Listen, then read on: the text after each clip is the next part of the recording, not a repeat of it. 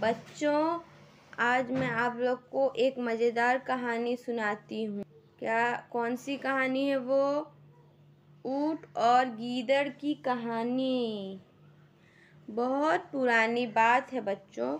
एक जंगल में दो पक्के दोस्त रहते थे। एक था गीदड़ और दूसरा था ऊट। गीदड़ काफ़ी चालाक था और ऊँट सीधा सा, ये दोनों दोस्त घंटों नदी के पास बैठकर अपना सुख दुख बांटते थे। दिन गुजरते गए और उनकी दोस्ती गहरी होती गई। एक दिन किसी ने गीदड़ को बताया कि पास के खेत में पके हुए तरबूज हैं। यह सुनते ही गीदड़ का मन ललच ललच गया। लेकिन वो खेत नदी पार था। अब नदी नदी को पार करके खेत तक पहुँचना उसके लिए मुश्किल था, इसलिए वो नदी पार करने की तरकीब सोचने लगा। सोचते सोचते वो ऊँट के पास चला गया। ऊँट ने दिन के समय गीदड़ को देखकर पूछा, मित्र, तुम यहाँ कैसे?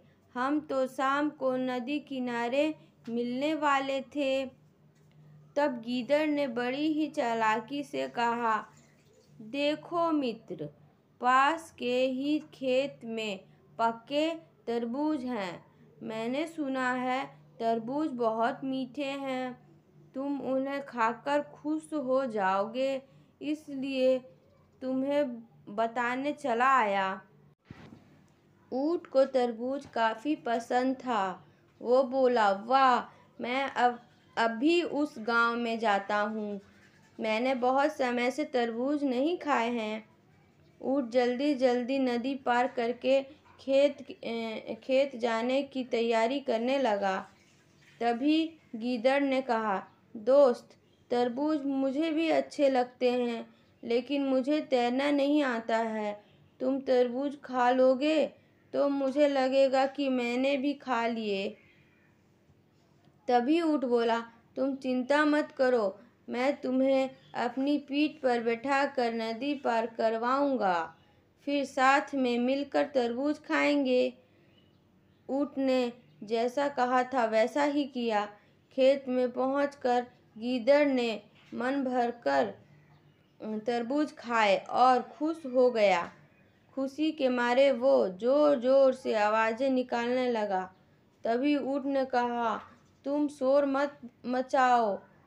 लेकिन वो माना नहीं।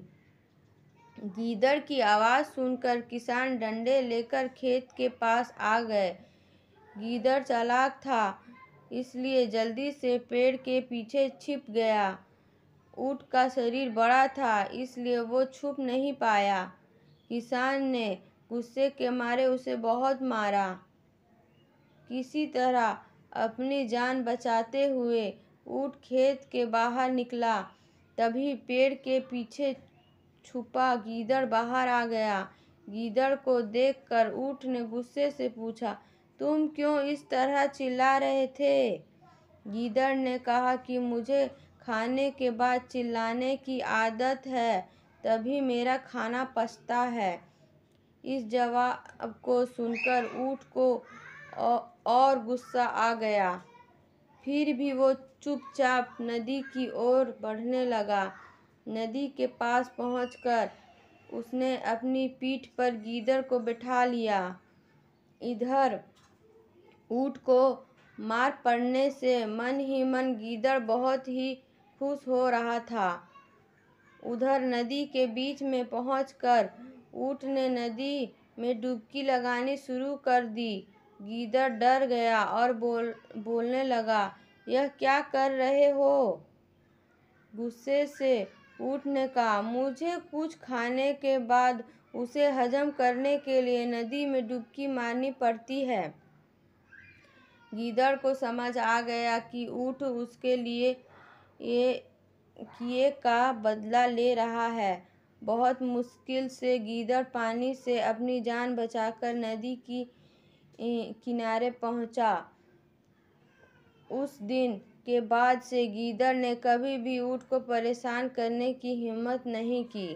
कहानी से सीख, ऊँट और गीदड़ की कहानी से यह सीख मिलती है कि चालाकी नहीं करनी चाहिए। अपनी करनी खुद पर भारी पड़ सकती है। जो जैसा करता है, उसे वैसा ही भरना पड़ता है।